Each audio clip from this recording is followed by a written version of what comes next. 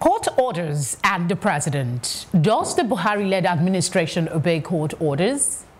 And Nigeria resolves the spiritual warfare on terrorism as Chief of Army Staff, Lieutenant General Tukur Buratai says terrorism cannot be defeated by warfare alone. This is Plus Politics and I am Felicity Ezewuike.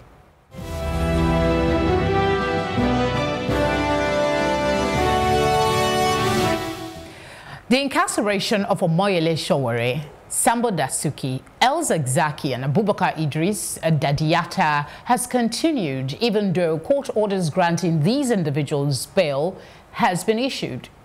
Are we living in a modern-day totalitarian state, or is there something the judiciary isn't telling us?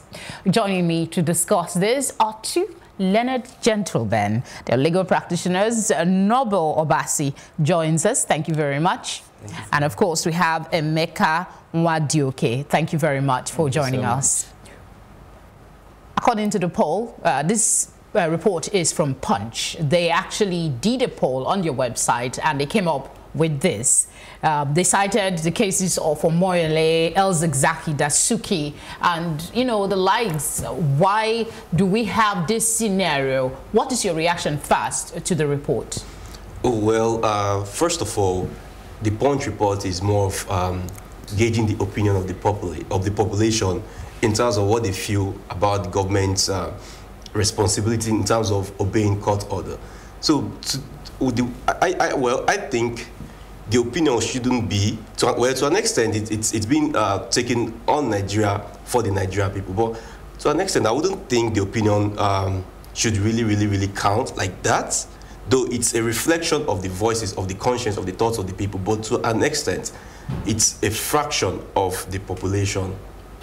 Let me rephrase that question to you, um, Mr. Meka. They had about um, 8,000 on Twitter, 8,000 people react, just trying to sum the figure, mm -hmm. and then on uh, on their website, they had about 2,000 plus people um, react to that poll, giving their opinion. Yes. Of these two, we just say roughly 10,000 yes. to 15,000. Let's max it out that much. Mm. Compare that to 200 million Nigerians. Um, he was expressing some reservation. Do you share it? But let's not forget that in that uh, poll, like 80 something percent even within that short frame of um, uh, polling respondents, said something is wrong. What's your reaction? Is it enough to gauge Nigerians speaking? Yes, like, um, thank you. Uh, I think the, um, the, the poll on um, the punch. On the punch, the the one I think on their website also yes. uh, it has almost ninety percent you know, um, deriding the government for its uh, human rights record. And uh, the one we have uh, with, uh, on the Twitter had about over 80%. So um, when you take the two together, uh, it's quite uh, conclusive that the government is not doing very well as regards human rights. Um, so as regards the um, validity of the, the poll, uh, you, you, you always know that there's no way, maybe except you are INEC, even INEC, the, the general election, you probably get uh, maximum 40%. We've never even got probably up to that. Um, so uh, it will always be a representative um, population sample. But I think the key thing is to see um, how representative is this, because you need to have spread and all that. So um, I'm not sure the, the, the, portion I read did not really uh, indicate as regards the methodology and all that as regards uh, to probably begin to dimension the, the validity of the, of, the, of the poll. But I will still hazard that it's uh, very close to the reality because uh, that's, that's essentially what Nigerians really will uh, um, come to when they uh, try to assess this government as regards its human rights record. Yeah, we'll definitely touch on the Sowore's case again because it came up for hearing today. But let's look at in depth some of these reactions that you know came with the poll. I'll start with um, one of them berating uh, says treasonable felony is not a bailable offense. And uh, the person is saying Sowore's fans should study the charges leveled against their mentor. Uh, as legal practitioners, how true is this? Is treasonable felony not bailable? Uh, okay. Okay. Uh, uh, definitely, but treasonable, treasonable felony is bailable. Even murder, as serious as murder, murder is, uh, I recall maybe the case of Mohammed Abacha or something like that, someone like that. There was, uh, there was bail was granted on, on ground of uh, maybe uh, ill health and, and, and all that. So um, there's, there's virtually no, no known, I'm not aware of any offense in Nigeria that if the grounds are, you know, valid, the court cannot grant, uh, grant bail because at the, at the end of the day, the essence of bail is actually um, that the person will be available to stand trial.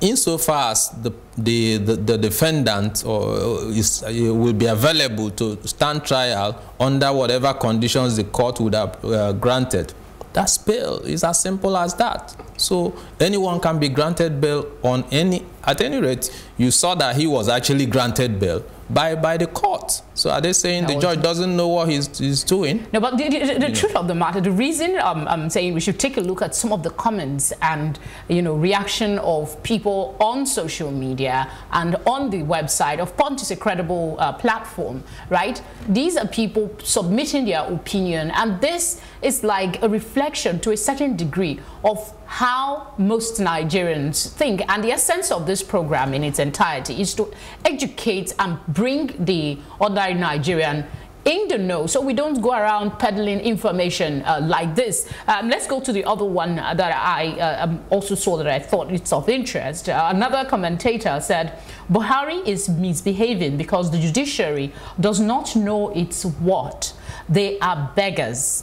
If they are not corrupt, they, that is the judges in brackets, should have resigned and left the seats for the president to uh, occupy. This is another position okay. that the uh, Buhari is misbehaving because the judiciary does not know it's what. Uh, I'll put that question to you, Noble. How would you react seeing this from a lay Nigerian? Okay, so from the perspective of a lay Nigeria, um, an average Nigerian would see uh, the judiciary as being an appendage of the executive. But then again, according to the constitution, there is separation of power between all the three arms of government. Even though there are times when one would have to have recourse to the other parts or the other arms of government. So, flowing from the assertion of uh, the commentator that uh, Buhari is misbehaving, simply because the judiciary, you know, gets perhaps gets payment or gets any kind of um, probably uh, the key word there is that they don't seem to know their what. They don't seem to know their what. okay, so I, I, to the best uh, to the best of my knowledge, I, I, I would say that the, the, the, judiciary they do they do know their worth. They know their worth, even though it's the regular Nigerian perception that the, judiciary, that judiciary is being caged by the government. Yeah, obviously, um, we see some of the cases where uh, the judiciary has given uh, given rulings, given judgments, even against the government. But the issue now is in terms of enforceability. Okay, so to an average Nigerian, they believe that whenever a case is against the government, that the government, the government does not um, dance to the tune of the court because of their overriding interest in the court. But let's look at it purely. The judiciary and the executive, they are two completely different arms of government. Even though sometimes you perceive that the executive is kind of trying to um, um, um, um, um swing. Let me, let, me, let me interrupt you and uh, present this scenario. Uh, okay. Today in this country, we see the government say um, the rule of law, the rule of law. They run to the court when they need a judgment. When that judgment is in favor of the government, we don't seem to have any problem. But if that judgment does not meet the needs of the government as at that time, as we see in the case of Sowore, we see a flagrant disobedience of court order. They kept, even despite the court order releasing this guy on bail, he was held on. We have Dasuki, we have El-Zakzaky before, you know, we got some uh, light. So, in your reaction, is the judiciary aware of its strength in enforcing, in making the law, I mean, ensuring that justice is done? Uh, definitely, the, the judiciary is aware of its powers. And um, it's, it, yes, it's, it's aware Being of its aware powers. and utilizing it are two different yes, things. Yes, uh, exactly. Uh, the, the fact needs to be said that um, we are in a very serious situation in this country. Uh, a situation where uh, we are almost in like in a state of. Uh, a situation where court orders are flagrantly uh, disobeyed by the, the government. It's a very serious uh, situation. In fact, it, it's actually not supposed to be a subject of discussion, but sadly we are discussing it because ordinarily, like uh, my colleague hinted, there's separation of powers. So the executive is supposed to do certain things, the judiciary is supposed to interpret the law, the legislature makes the law. The rules are very clear cut. But when you see a situation where, just like you hinted, when it uh, suits the government, it obeys a court order. When it wants uh, a particular order, it rushes to the same court. Then when the court grants the order against, uh, the, the, against the government or its agency, it decides to dis uh, disobey that order. It's, it's very pathetic. And um, it's not as if the judiciary doesn't know its powers. But there are constraints. For instance, if you want to the, the, the, the traditional uh, method will be to issue con contempt uh, proceedings against the uh, such officers. But for instance, assuming you issue contempt proceeding against the IG of police, who is going to execute that contempt to arrest the IG is still a police officer. So which sergeant or whoever will go and say, uh, IG, I want to arrest you because they're so they are the ones that are supposed to be yes so the there are even this challenge this uh, idea that maybe the court should have an enforcement arm so that you don't have this kind of challenge.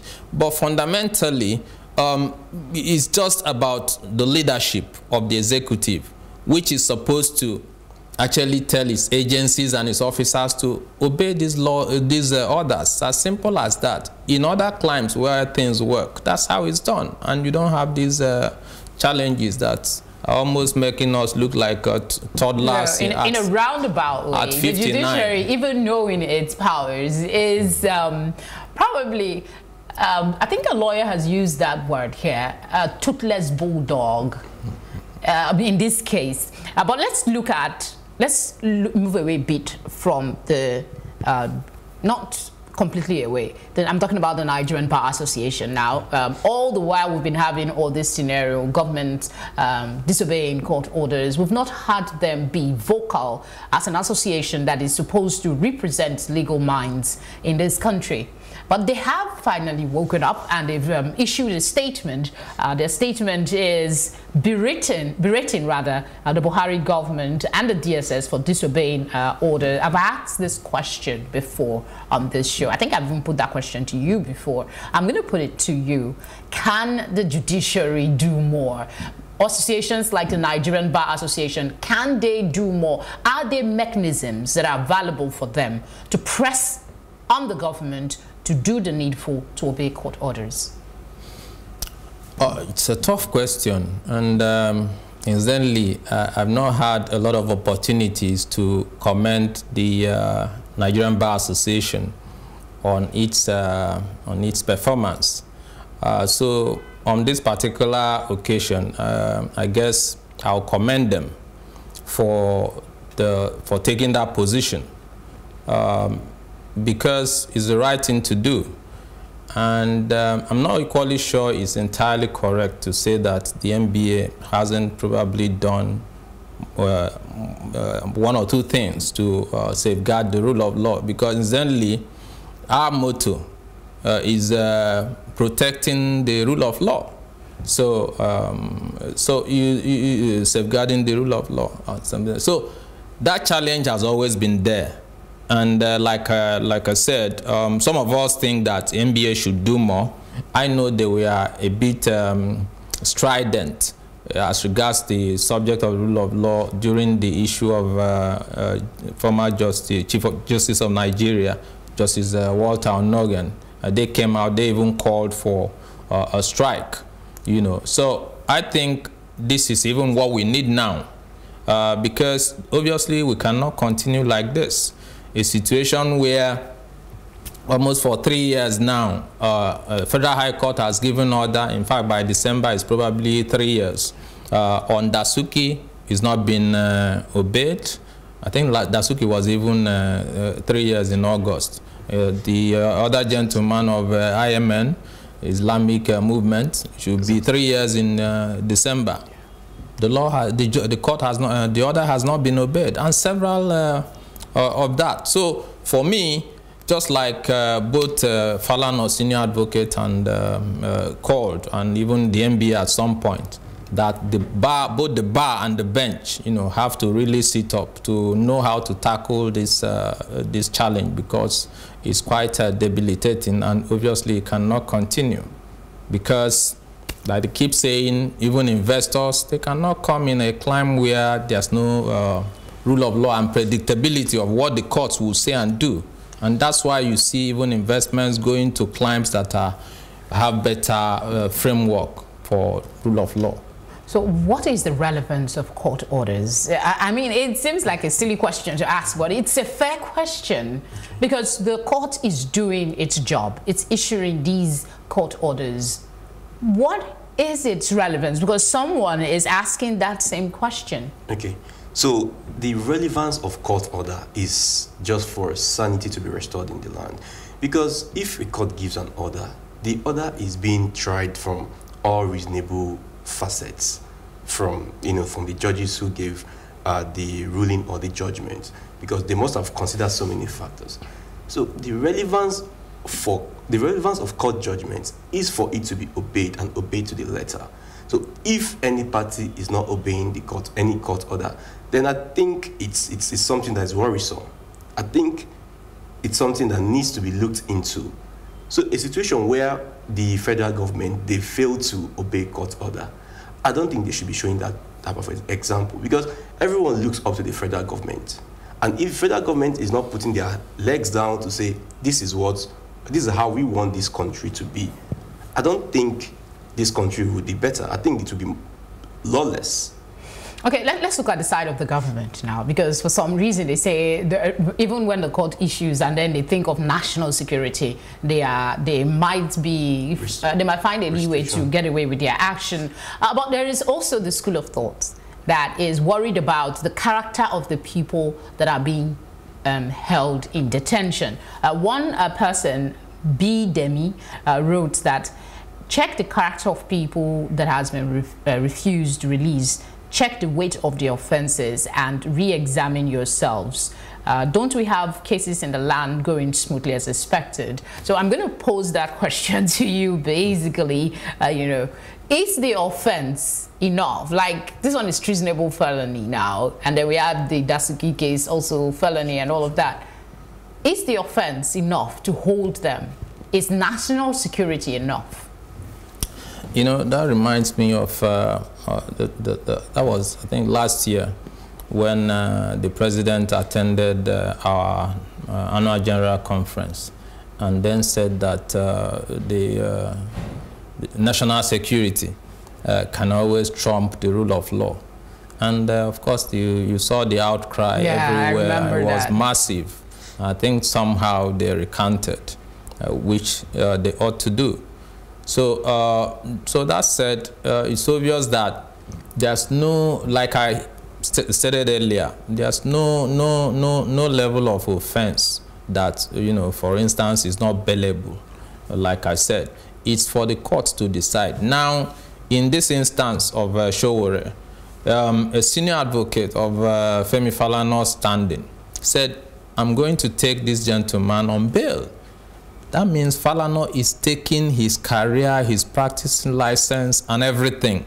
That if this gentleman, at any rate, you know that the, the essence of suretyship is that if the person runs away, you can actually be put in his position and tried for, for that offense. Yes. Or, you know, and depending on the, the, the, the bail uh, conditions and all that. So you, see that is a very serious. So for him to stake his this, knowing that anytime this gentleman is wanted in court, he's going to bring him to court to face his trial. And if he's convicted, he goes to jail. If he's not, he goes home. So why would you now sit in the comfort of your uh, office as uh, DSS and determine that the court, you know, has um, uh, has not ruled properly and that you should disobey that order?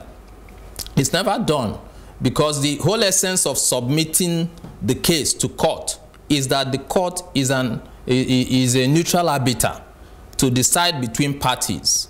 So uh, you've come to court for justice, the defendant has come to court for justice. So you leave the matter to court to decide. It's not for you to begin to decide, uh, pick and choose which you know uh, ruling is proper or improper. You never you never do that. It's not in your place to do that. It's for the court to to decide. Let's look at the Sowore's case again that came up uh, today. I, I, think we still have a little time to cover that. Um, he has been remanded in the custody of the um, DSS. What happens to that bail that was given to him earlier? Let me bring the question to you. Okay, so, I mean, uh, in all sincerity, the first bail ought to stand. Okay, so he has been granted bail on an offense. But the bail conditions, I think he has made those bail conditions. But however, he has not been released based on those conditions. Because today's own, so when, when I when I was uh, looking at you know how the proceedings was going, I um, they said they, I heard something that uh, that the reason why he would not be granted bail on this second on this on the on the other offenses on the other allegation is because they were separate allegations from the first allegation which he was granted bail for. So I feel the first bail should stand isolated. Then they can now perhaps bring him to court and he can now perhaps apply for another bail on that same matter. So I believe he should be, right now, he should be a free man. Yeah, then, but, but, the, but the judge in this case yes. um, is, is not paying attention to the previous matter. Mm -hmm. what, what, do you make of the judge's ruling in this matter, saying dismissing the one given by Taiwo Taiwo and giving another when that man is still incarcerated? It's, it's very tragic because what we are even seeing is the same court. You're not even talking of maybe you took him to National Industrial Court, which obviously doesn't have uh, jurisdiction, or Lagos High Court, of Abuja FCT High Court. You know, you took him to the Federal High Court. A particular judge granted him bail. You refused. Then you bring him back the next day before another judge of the same court with coordinate jurisdiction and powers. It's ridiculous. So is that the, something? The, the only thing they did is probably to, to, to join an additional defendant to make it look like it's a new case and maybe not on, the, on all fours with the previous case. But essentially, we know that this case is about treason and about whatever they said, abusing the, the president or whatever. So obviously, it's the same case. They are just basically forum shopping. And forum shopping is you didn't get what you want in this particular court, you run to another court. It's abuse of process. Fair and simple. Yeah, I'm told we have limited time, but I, I wanted us to see a little of the video of Sowore um, in court today. That video is all over the social media. Um, his reaction, uh, he was attempting to speak to the press and then he was being pulled uh, on the other side. Uh, let's just see that video and then I'll get your reactions before we wrap up this segment.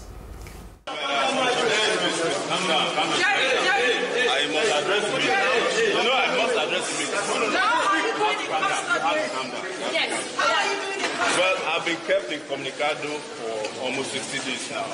And you can see them back in uh, This is a lawless country, and that is why Nigeria must fight for its soul and ensure that the revolution that gives our people a chance to have a country of their own.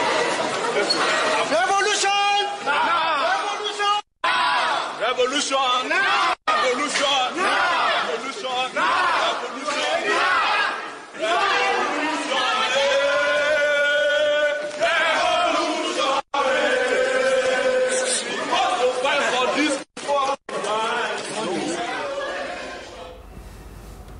What does that video say to you? We have less than two minutes, so you take one, you take one. Your reaction to that video quickly.